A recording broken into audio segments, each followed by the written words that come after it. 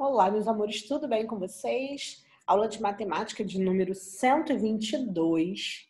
E nessa videoaula, a gente vai para a atividade 127, que fica na página 83. Então, pega o livro de vocês, o livro 8 de vocês, abram na página 87, atividade 127, e vamos lá.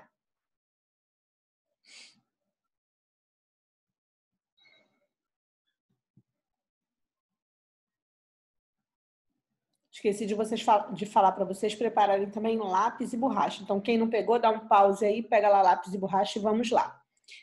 Bom, é, nessa aula, nessa videoaula, é, especificamente, atividade 27, as páginas estão aqui, ok? Para vocês sempre é, se situarem no livro. Nós vamos relembrar é, todos o que, tudo sobre fração que a gente aprendeu até aqui, os conceitos, é, as comparações, os cálculos é, de frações, de quantidade, frações equivalentes, tudo isso a partir ou através de situações problema, que retratam situações do nosso dia a dia, tá bom? Agora a gente vai colocar em prática. Vamos lá? Preparados? Número 1, um, exercício de aplicação. Olho vivo. O frasco mostrado na imagem tem uma espécie de régua graduada, que divide seu volume total em partes iguais. Ok? Até aqui. De acordo com o frasco mostrado nessa figura, responda ao que se pede. Em quantas partes do mesmo volume as marcações dividem o frasco? Vocês já contaram? Quantas partes? Seis. As marcações dividem o frasco em seis partes iguais. Ó. Um, dois, três, quatro. Cinco. Um, dois, três, quatro. Cinco acaba aqui. Seis acaba aqui. Então, ó, uma parte, duas, terceira parte, quarta parte, quinta parte, sexta parte, é esse pedacinho. Se uma pessoa precisar colocar água nesse frasco até que complete um terço da sua capacidade. Que fração a representará com o denominador 6? Então, um terço de 6 a gente tem que dividir por 3. 6 dividido por 3 é igual a. Qual é o número que vezes 3 dá 6? Olha aí, saber a tabuada, em 2. Então, qual vai ser? Ó, vai ser dois pedacinhos. Um terço vai ser dois pedacinhos, duas partes dessas seis certo? Ó, 2 mais 2 mais 2 é igual a 6. O 2 três vezes é igual a 6. Então, qual vai ser a fração? 2 sextos representar essa essa, representará essa capacidade. Então, 2 sextos representa um terço dessa quantidade.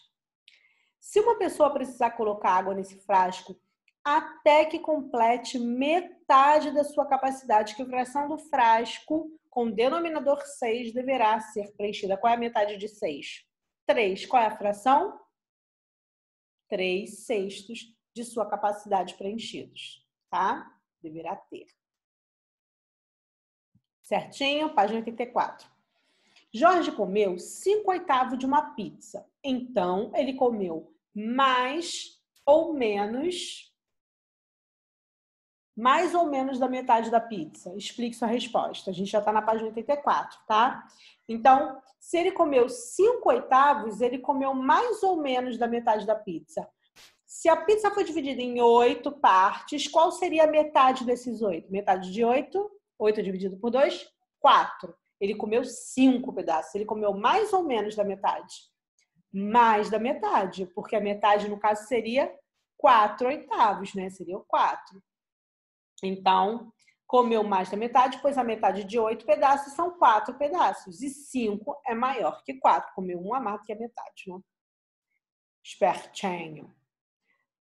Ok? Vamos lá agora para o chocolate. Olha que delícia! Barra de chocolate, que eu adoro.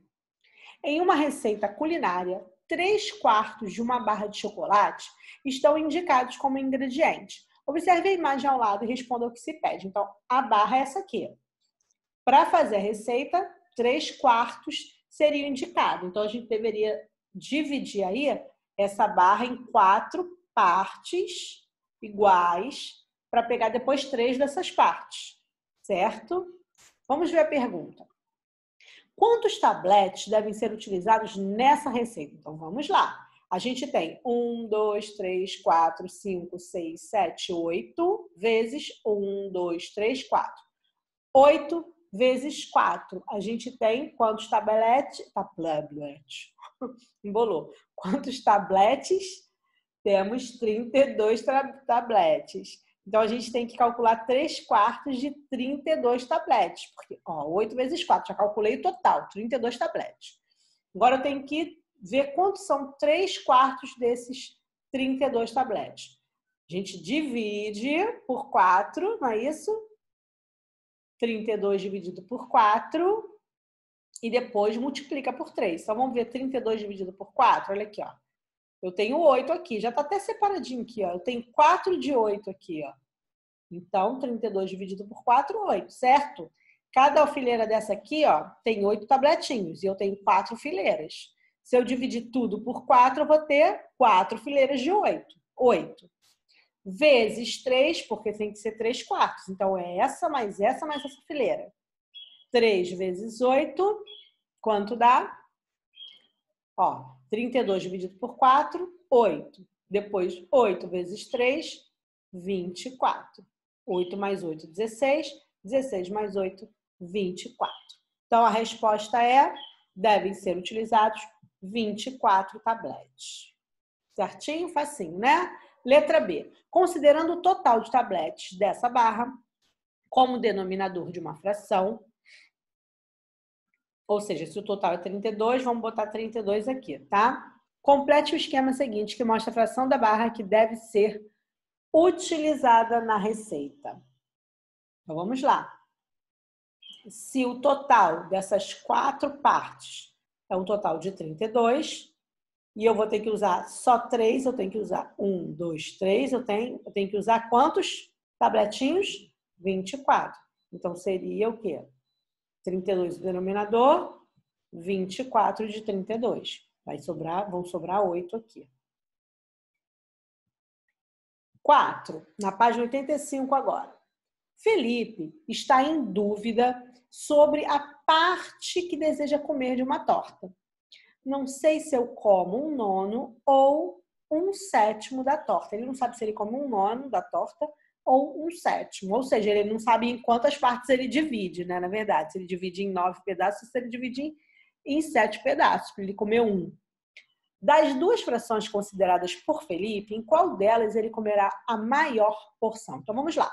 Se ele pegar essa, essa torta e dividir em nove pedaços, ele vai ter mais pedaços, certo?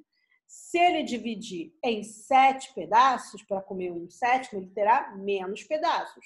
Mas em qual delas ele vai ter um pedaço maior? Se ele dividir em nove ou se ele dividir em sete? Lembra que a gente já falou sobre isso? Quanto mais pedaços, imagina você pegar aí um, uma torta, um bolo e dividir em, em três pedaços em quatro pedaços. Vão dar pedaços bem. Um, um bolo desse tamanho, você vai ter, ó, um pedação para comer. Mas se você divide em 10, o pedaço vai ser maior ou menor? Vai ser menor. Então, em qual das duas frações ele comerá a maior porção? Um sétimo ou um nono? Dividindo por 9 ou dividindo por 7?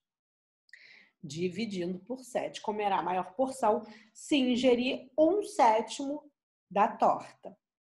Quanto maior a quantidade de pedaços de uma unidade dividida, quanto em mais parte você dividir uma unidade, menor vai ser essa parte, esse pedaço.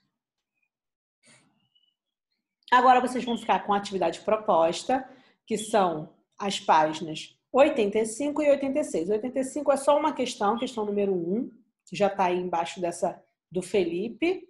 E aí depois você vai fazer mais duas questõezinhas na 86, para treinar bastante e não esqueçam da avaliação conceitual.